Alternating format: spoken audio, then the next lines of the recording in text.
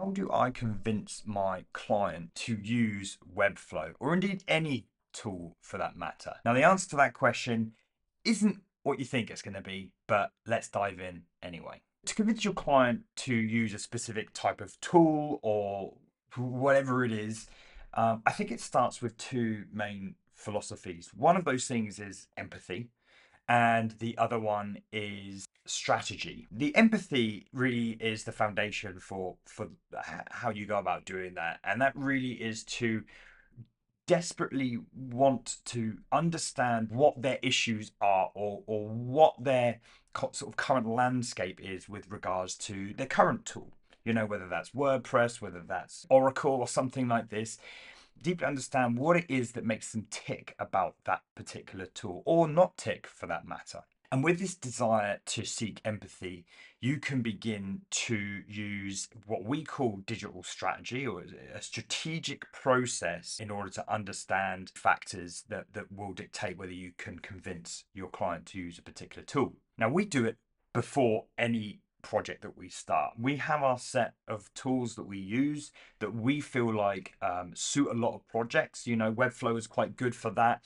Uh, Next is quite good for that. That's the kind of go-to things. But we're always open to new tools and we're always open to new challenges. But regardless, if you're starting out and it's a greenfield project, I would deeply implore you to sell digital strategy. Now, I have a episode on that, uh, which you can go and watch here.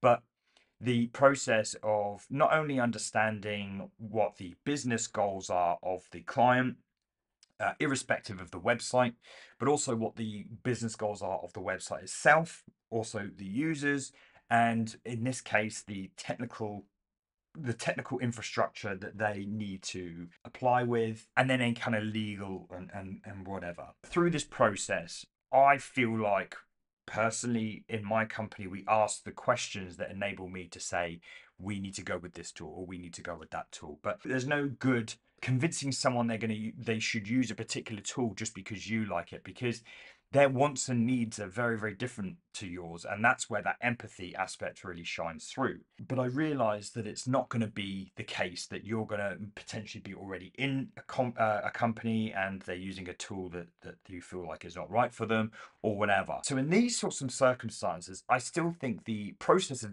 digital strategy, whether it's this, you know, our workshops take up to six hours to actually do, there's no reason why you can't take that and shrink it down and say call it like an audit, a technical audit.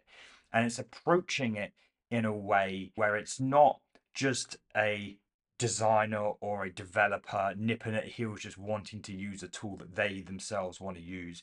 It's approaching it in a sympathetic and empathetic way that has the client's best interest at heart when doing this audit. And in this way, you can invite a lead, a C suite member if you're that close to them, a manager, or something like that. And explain to them that you feel like that, w- that you might not be using the right tool for the right job. In that, you can introduce the idea of a sort of technical audit.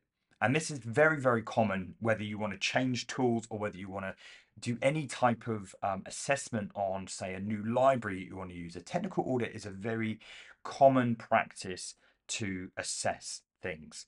And you can introduce the idea of saying, I'm going to want to do a technical audit. And that will involve then um, interviewing certain members of the team to understand their perspective, understand their challenges, that's very, very specific, and understand what they like about their current tool and what they potentially dislike about their current tool. And you compile all that information together to then come to your own assessment. And you need to step outside of yourself for this assessment. Look at the data as objective as, possible and see where where the uh, where the holes are and where you feel like Webflow or another tool might actually slot into those things. Now, three big categories that you want to try and cover. Now, I can't tell you what questions will resonate the answers will resonate with you. But I can say the, the sort of three categories we're looking at is efficiency, and this could be, um, you know, how fast or slow work gets done with one tool versus another one. It could be process as well, like are, are there multiple steps in getting say something to live is there is there a review process or something like that and financial And this is really where it all comes down to. These are the terms that your employer or your team will understand. It's not going to be it's easier to do design on, or they're not going to understand these very fluffy terminologies. They understand strategic and financial gains with regards to a tool. You might look at tools like Oracle, uh, Salesforce, and they are without a doubt very, very expensive, very, very clunky. But the efficiency gains or the process gains in the support mechanisms around it. Now, I'm not trying to sell Salesforce or anything like that, but the gains might exist in places outside of the tool. They're happy to spend you know, £20,000 on a developer implementing a small feature because the gains aren't lost or gained rather in the, the developer's time or, or whatever. The gains are won because if that system goes down, it saves them millions. So rather they'd rather pay twenty thousand pounds to have something menial done rather than spend millions if a system was to go down. And that's the sort of mentality they they operate in. So you need to approach your questioning with that kind of mentality and discover ways where there's leaks in efficiency, leaks in productivity, or leaks in money, basically. And if you can approach it in those sorts of ways, then you can introduce the idea of Webflow being the right tool for them. Or you might come to a completely different conclusion. I would I would implore you to challenge your own assumptions and be open to discovering new things that you might think, well, actually, do you know what? Web Studio is a better tool for that, or Wix Studio is a better tool for that. And this is where your, you know, with your experience and things like that, you can reach into your tool belt and start to pull out ideas and things like that. And and that's what I personally love about strategy and um, auditing a company and stuff like that. I I try and go in with a completely objective mind, unobject objective, unobjective, objective mindset and thinking what juicy nuggets of gold can I discover here and and what challenges might I face that are completely outside of the realm of the initial conversation whatsoever. I get off on that. I don't expect everyone to get off on that, but that's just the approach that is necessary to convince your client, your customer, whoever it is, to consider a different tool.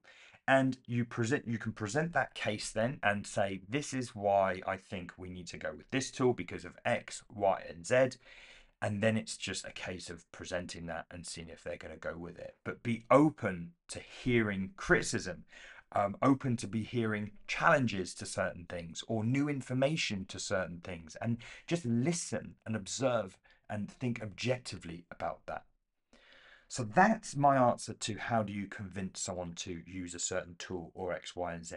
You need to gain an empathetic mindset and do your own due diligence and discover and find out where the holes are needs financial uh, process or efficiency capacity that the tool you recommend solve. So I hope you like this one. If you want to hear more about this sort of stuff, then hit the subscribe button. Let me know your thoughts and feelings down below. If you have certain challenges, I want to hear them, uh, maybe to incorporate in another video similar to this. Like, subscribe if you haven't already. Until next time, happy no coding.